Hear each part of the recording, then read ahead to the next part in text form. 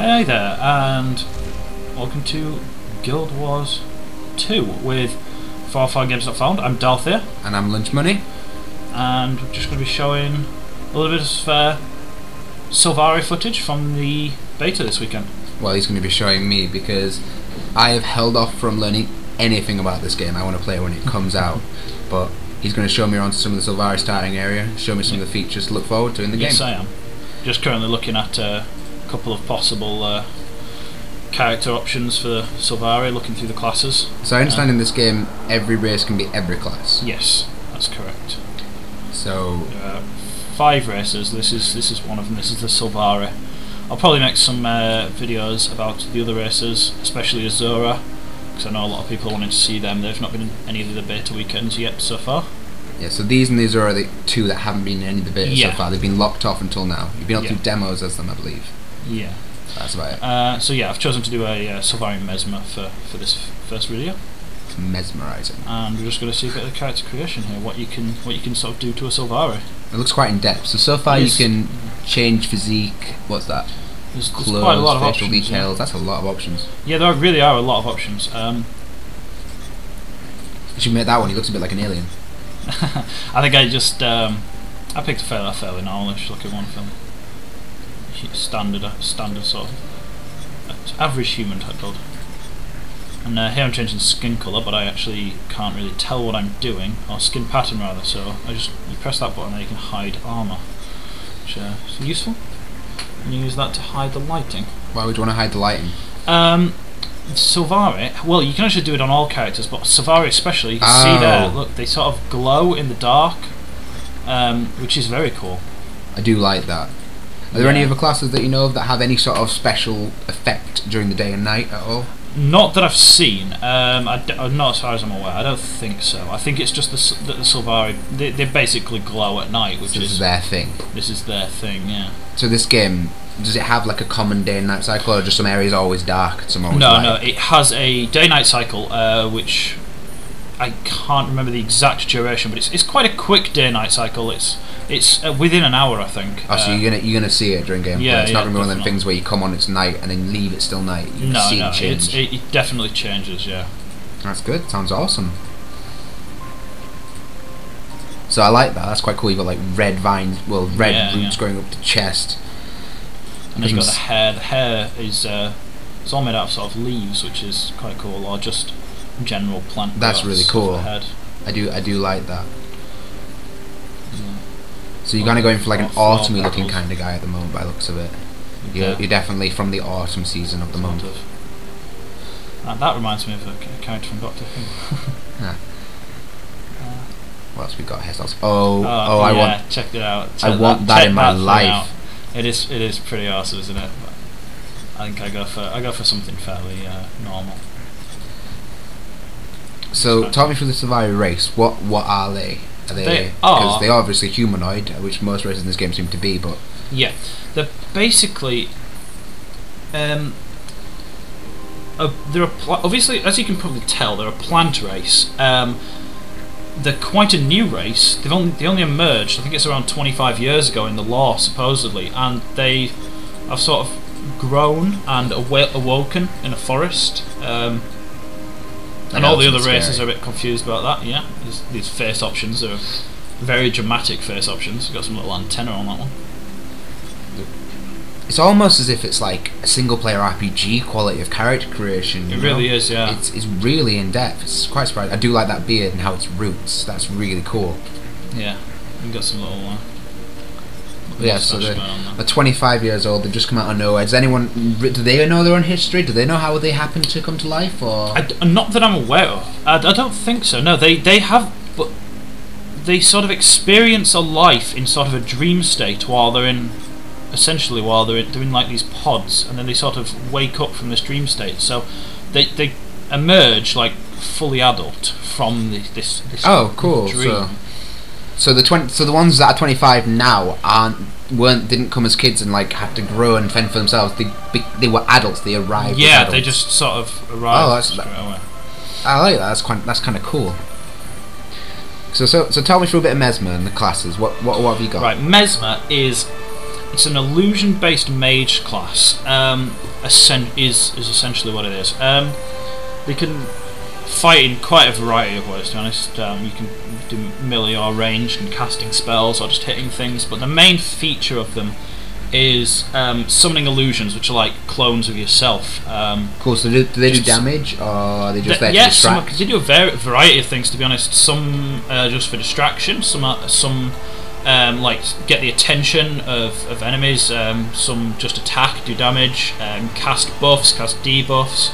Uh, various it's quite, quite a varied role. Yeah, there's quite a very. I mean, as I'll sort of talk about a bit later on as well. Different, you get different weapons and you get different abilities. So you've got quite a lot of abilities, and, and through that you can have quite a lot of different types of, of clones available to you. Cool. So, see you changing the colour of your armour now. No, Yeah. this armour, I'm guessing, is what you're going to look like later again. This isn't going to be what you're starting because it's No, quite this, fancy. this this armor that you see here is actually um, your starting armor. wow, uh, which really is actually it is, it is pretty fancy. Yeah. Um, what you you basically do with with this color system is you pick a sort of base set of, of colors for yourself, and whenever you whenever you get a new piece of item of, of armor, it will change to match the the color sys- color scheme that you've already put in place. So you'll sort of always match, and you and you can change that color scheme. Oh, cool! At So any instead of time in having to spend loads of money on dyes every time you get a new piece of armor, you just it just Yeah, does yeah. it for you. like in, in games like like Rift or I think I think you could do it in, in TERA as well and, and a few other MMOs. Um, you, you you're able to sort of buy dyes from like a vendor or somewhere and yeah. change the fact, But I think in Rift there was a class that made dyes. Okay. yeah, um, but in in this game, it, it's just sort of a free option. It's just always available. So you're never gonna uh, Cool. you're you- never gonna have that annoying pair of bright blue gloves that, that don't match your your red outfit or anything. Oh so- man, you can make them. my guy's gonna if you like. possibly look quite sensible then. You don't have to. You can you can you can colour it however you want. Oh, what what's with the mask? The mask. This is a mesmer feature. Um, they all start wearing basically one of these masks. Um, Does you- he do anything? it, it's it's not not really. It's it's bas- it's just a basic helmet. Um, in terms of items, but as you see here, what we're doing now, if you completed the character creation for the physical appearance, you now select, like choose the background of your character. So you're making your story? There are quite a few options, yeah. And there's quite a few options. Um, if you can see down the bottom of the screen, on page 6 out of 10 at the moment. So there are quite a few options to choose from. Um, for instance, in the Dreamed of a Quest that calls me to. Call, it was a vision of. So you, you just sort of pick these. You can you can read about them. There's, there's descriptions at the bottom. So how much does Um, this change your character? Is it just completely It cosmetic? changes. or- No, no. This is this. These options here will change um, the story of your character. Um, as, as you sort of level through through Guild Wars 2, you follow a story quest which tells. Basically, it's, it, it is essentially like like a almost like a single player RPG type game um, Okay, so kind type of- story. So the, you've, Um, got, so you've got a letter here. Just oh, it's cool. So all the Yeah, all the this, things you've picked. this letter here is, is obviously um, describing what you've picked. It's it's um, yeah, it's it's the, the introduction to your story essentially. And now what we get is we get an introduction video. These are different for every race, um, slightly different based on class, and they also change based on your I choice of background options. 25 years ago, what we'll son do is we'll we'll be quiet during Yeah, this. we'll shut up and for a minute You can and, watch um, it. and If you don't want to watch it, we'll include an annotation which will let you skip past it. The dream contains my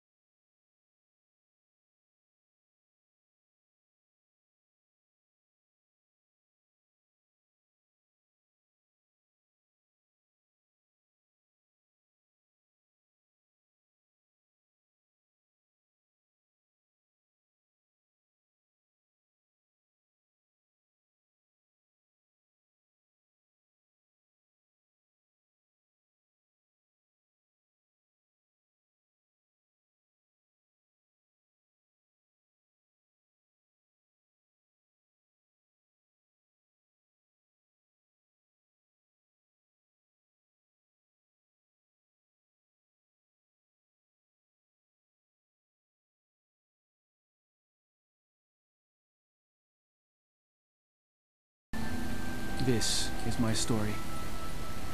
So, there we go. That is the basic introduction. Like I said, there's a, a couple of things that would change. Um, Yeah, I saw in there there was mentioned the Green Knight, which you picked as your thing. I'm guessing that maybe changed to the Stag if you pick the Stag. yeah, perhaps. Yeah, I mean, I've only made this one character, so I can't say, for example, how much that's changed. But anyway, I'm just uh, just got into the game here, just having a little run around. Um, as you can see, just looking at the animations, the jumping, the rolling, running. It's all, all very smooth. smooth. It's really nice. And just the general visuals of What is that? the game is really nice. Some sort of uh, spectral creature. Uh, not sure. So there seems to be a lot of life that's come with them. They're not just plants, like loads of life's come too. Yeah, there seems to be a lot of other similar life forms. Um, you'll see rangers running around with with um, sort of like wolves that are also plants and things in, in a similar vein. And here doing a bit of this uh, bit of basic combat for uh, the first event you come across as a Sylvari. Um, I'm currently trying to defend an NPC who's going to repair a bridge for us. Uh, so that we can continue on. So do you have any clones by this point? Can you summon people to fight Um, alongside yes, you? or- yeah. Um, my number one ability, which is the only ability I have at the moment, I'm currently using a scepter, by the way. That is, it's, it's a sort of medium-ranged spellcaster type weapon. Um, and as you see, I just unlocked another ability. How that works is you have, as you start, when you pick up a weapon, all weapons have a different set of, of skills associated with them, and as you use the weapon more, you will unlock more abilities with that weapon. So I, I've just killed a, a few wolves there as uh, with my scepter, and I've now unlocked another ability at number two. Um, I think the number two ability with the scepter was a block ability. Um, Cool. So is- have we jumped forward now? Or is this the same? This this is we've jumped, fo- jumped forward a little bit. This is um, I was, I was just running through the forest a little bit. I've killed a couple more. As you can see, I've just unlocked my third ability there as well. Um, So you, you get do you get five abilities per weapon, or is that? it, it's what you it's three for a main hand weapon, and then and then your number four and five will be your offhand weapon. Um, but if you use a two-handed weapon, it'll be all five. What we've got here is we've got um, a larger event. Uh, as you see, I was killing wolves, and there was a progress bar for that, and now that's complete, and, and we have this, which is I want to very say a turtle. interesting looking.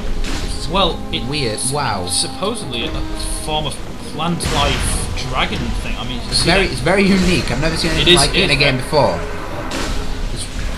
Shadow of the Dragon is it- it's called there. And um, as you can see, we've got in the top right there, we've got an event uh, tracker for for this having appeared.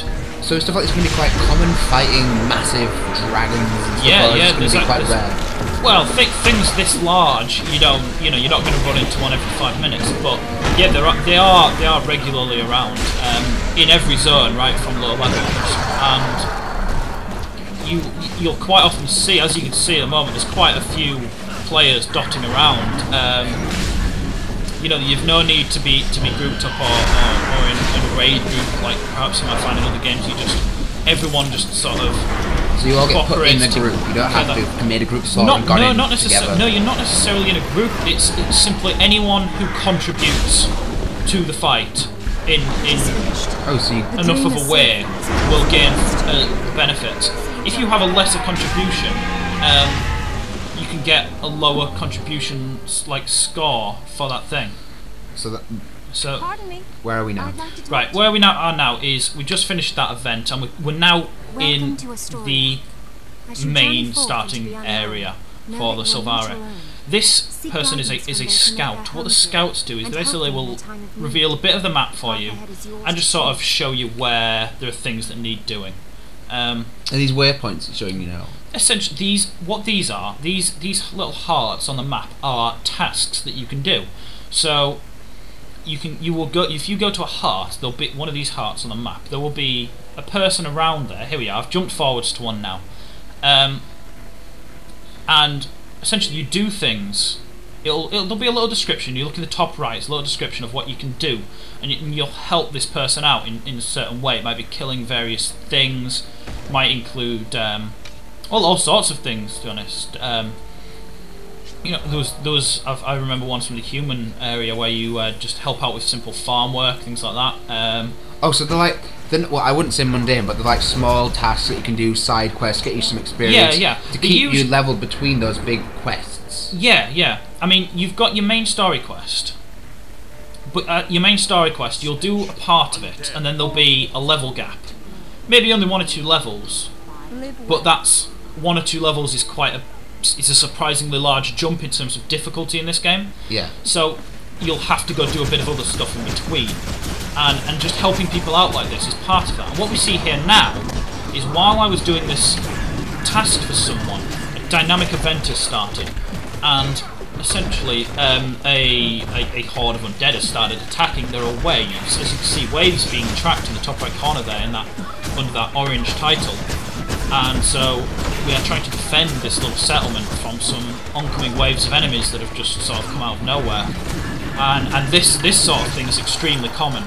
Um, you get these all the time. They're great source of experience, and they just They just look really fun. they just they're just fun, and they just make make the game more interesting. Um, I mean, you could be leveling, you know, your fifth Sylvari, and suddenly an event comes that you've never seen before, and it's a new experience. It just it just mixes it up, makes the leveling experience Um, Absolutely, more yeah. dynamic, which is what they're going for, from what I can understand this game. Yeah, I've- they just really want everything to just be dynamic, just be a bit more fun than than, than anything other people have seen before. I can def- I can definitely say it, it looks like you didn't accept a quest. I haven't seen a single person with an exclamation mark above their head. This just happened. No, here just you, you just go up, you just join in, you get involved. So long as you so long as you contribute to what's going on, you'll get rewards for the event.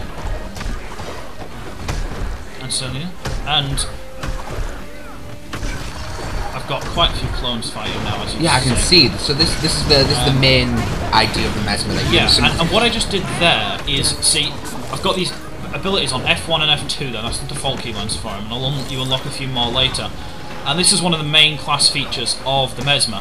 It's that when you summon clones, you can then um, detonate them for various effects. You can either just use them for damage, or various crowd controlling or debuffing effects from um, shattering your illusions. Oh, cool. I see next your next your. F1 and F2 thing that you've got little circles. These how many clones These you've got now? Yeah, that's that, them circles are how many clones are currently active.